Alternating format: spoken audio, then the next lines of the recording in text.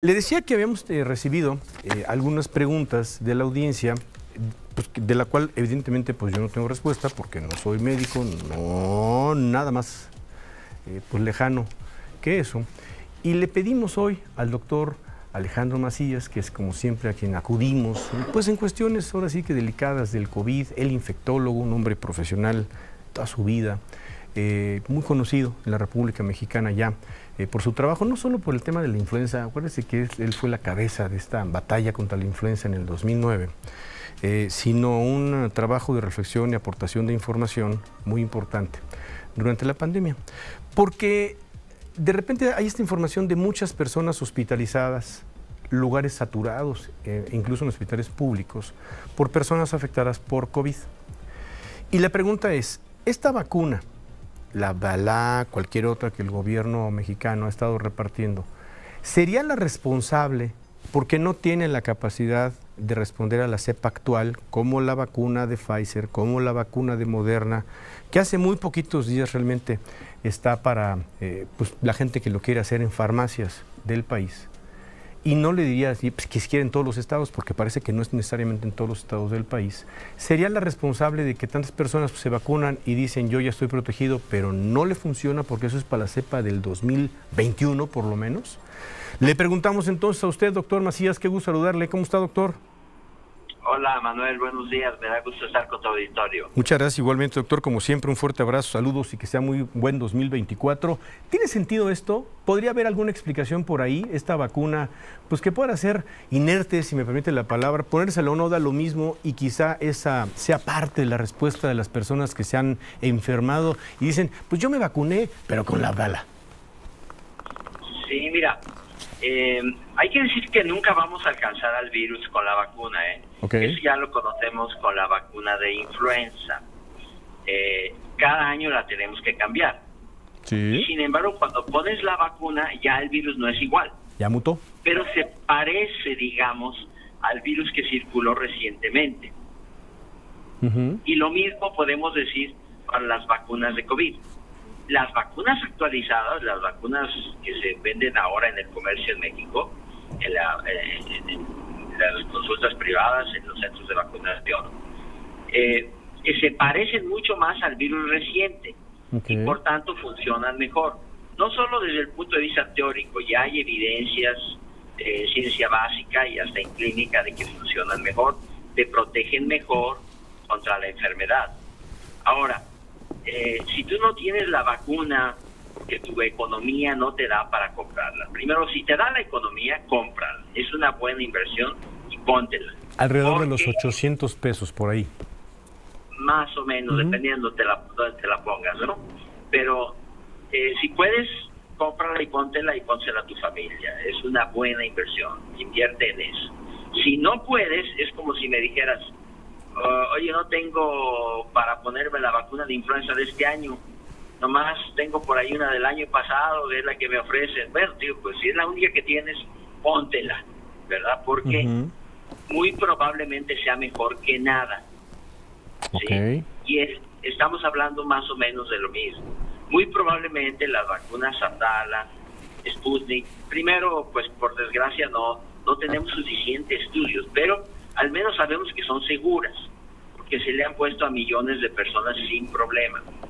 y muy probablemente te van a servir de algo. Entonces, el virus va a entrar de todos modos, Manuel. es un virus muy contagioso, el virus no se va a ir. La variante pirola apenas estará por entrar a México y es una variante muy...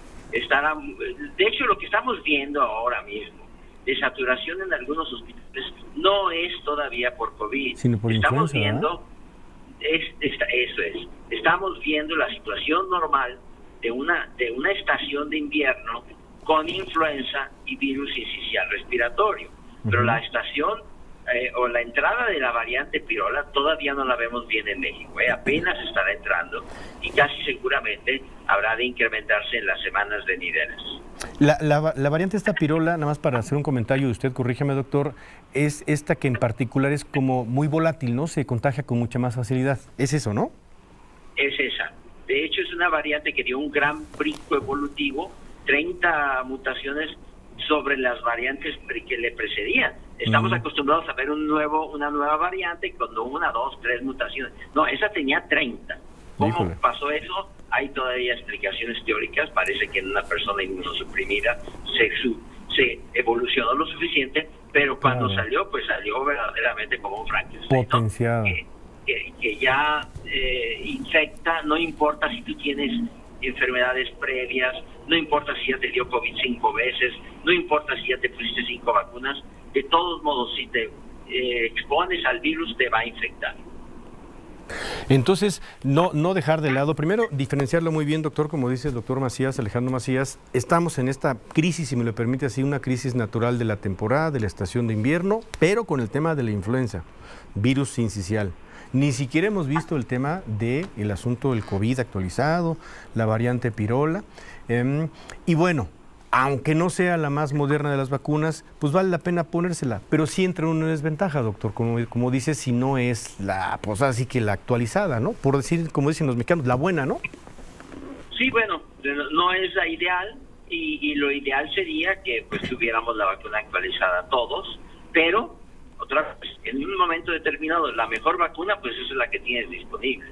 Y si la única que tienes es una vacuna ancestral que se hizo con información del virus original de Wuhan, bueno, pues ponte esa, porque muy probablemente te va a servir de algo para evitar, no enfermarte, pero al menos que te pongas grave, para eso es probable que sí te, que sí te funcione, al menos parcialmente. Pareciera broma, doctor, pero creo que le da el clavo. Una vacuna ancestral, una vacuna que no tiene nada que ver con cosas de hace, de hace dos años, quizá tres. Sí, es una vacuna que... las vacunas, de hecho, las vacunas que, que están ahora en el sector privado, ya son vacunas de tercera generación. Sí, ya no son del virus original. Sí. Acuérdate que luego vino una segunda generación que tenía una vacuna bivalente. La de 22, el virus original, el virus ancestral y una de las, de las recientes. Ahora ya es monovalente. Ya no tiene el virus original o la información del virus original de Wuhan.